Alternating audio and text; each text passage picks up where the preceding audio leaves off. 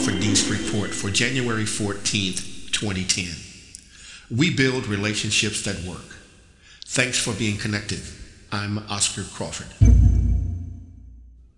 16 years ago, my wife Bonnie and I designed and created a tool to change the way people think about, approach, and manage their personal and professional relationships. We called it Exploring. 16 years and thousands of people later, we are still doing everything in our power to help people get it right in their relationships. 16 days from now, we will present Exploring Ourselves and Our Relationships with Other People for the first time in 2010. Exploring presents opportunity for self examination to determine personal values, personal priorities, and personal approaches to relationships. Exploring is not for people whose relationships are perfect, or for people whose relational enterprises all work at peak efficiency all the time. To the contrary, exploring is for people that are willing to admit they need help with their relationships. Exploring is for people that desire to enhance the quality of their personal and professional relationships. Exploring is for people that are willing to make beneficial adjustments where necessary and make their relationships better wherever possible. We developed exploring in the 1990s for a number of reasons. Among them, we determined the then new buzzword diversity was an inappropriate first step to human relations or relationships within organizations. For diversity to be an appropriate first step requires assuming that individuals already had developed personal skill sets within their own individual personalities and distinct groupings by culture, race, ethnic origin, religion, and gender to identify but a few.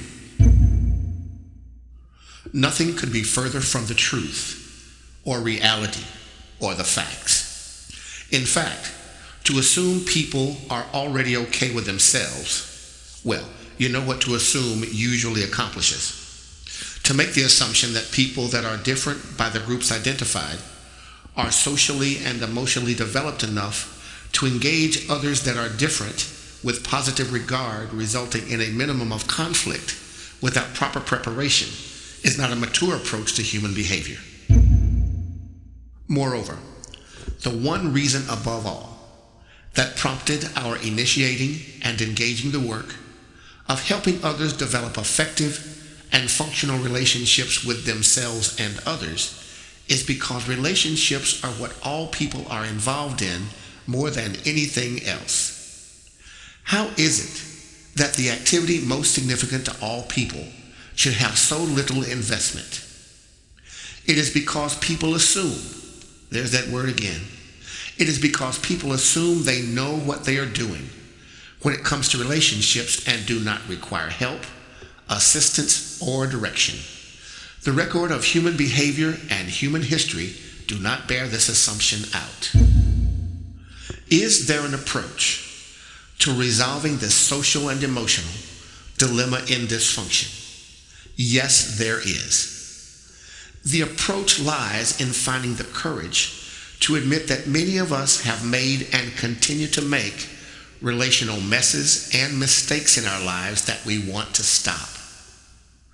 When we are willing to admit and stop, we can take the time necessary to evaluate our approach and gather new information on how to get what we want.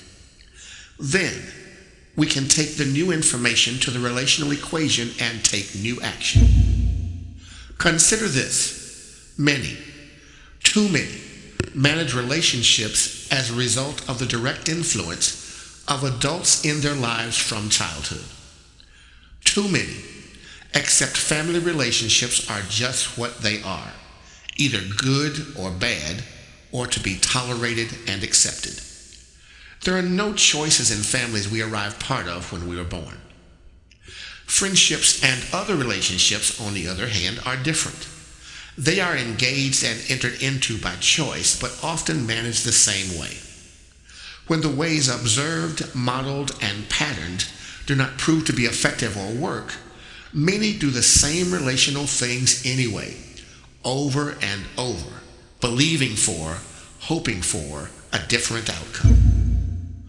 This approach is equivalent to insanity, inasmuch as proof is available that current systems of approach and ways of doing relationship do not work. What may have worked well within the framework of traditional male and female relationships, organizational relationships of leaders and followers, or relationships of business cannot be realistically expected to work inside the portal of the second decade of the 21st century. Note the following. Reason number one that American business relocates to third world nations is not just cheap labor alone. It is the need to control a work environment where workers have little to no input in what they do or how they are managed while simultaneously increasing profits for the bottom line. The notion of the worker relationships of unions does not exist. This was management's way when the single boss was overlord to workers throughout early America up and through the 1970s. Since then, Americans by and large do not find this approach of organizational antiquity acceptable. These know there is a better way to organize people around the management of a corporate mission than force and intimidation. This diseased dysfunction of debilitating relationships as a result of emotional insanity has spread far enough and certainly lasted more than long enough. It can stop when decisions are reached to examine and re examine our notions of the purpose for a relationship in the first place. Next, individuals and organizations desiring relationship and the benefits of relationship must bring a willing spirit and something to offer and share to the table that is necessary, beneficial, or desirable to and by others relationship is desired with and with whom relationship might be mutually experienced and enjoyed. Do you know men and women who consistently and continuously run into the same relationship problems over and over again without discovering they alone are the only common denominator? Of course you do. You feel sorry for them, sympathize with them, and wonder why they don't get it. When would now be a good time to challenge yourself and others to raise relational skill levels to increase the probability of success in relationships and getting what you want? This can be achieved. You can do this. You can have the kind of intimate relationship you want. You can enjoy and experience the kind of organizational relationships you want. The how to process and plan is yours in four days. Or you can choose to continue to be ignorant of what works well in relationships. You are free to do that. You can choose to continue to stay stuck in your rut, thinking you will finally get it right, doing things the same way that has never brought you success to date. You can do that. The time will come and must come when you realize that your way has not and does not work. Your cheese has moved, your wife has left, you're broke and alone, but you have your pride. Wake up. You do not enjoy the respect of others because you do not enjoy your own respect.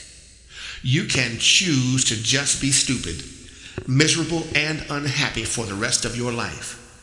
You can do that. Or you can make another choice.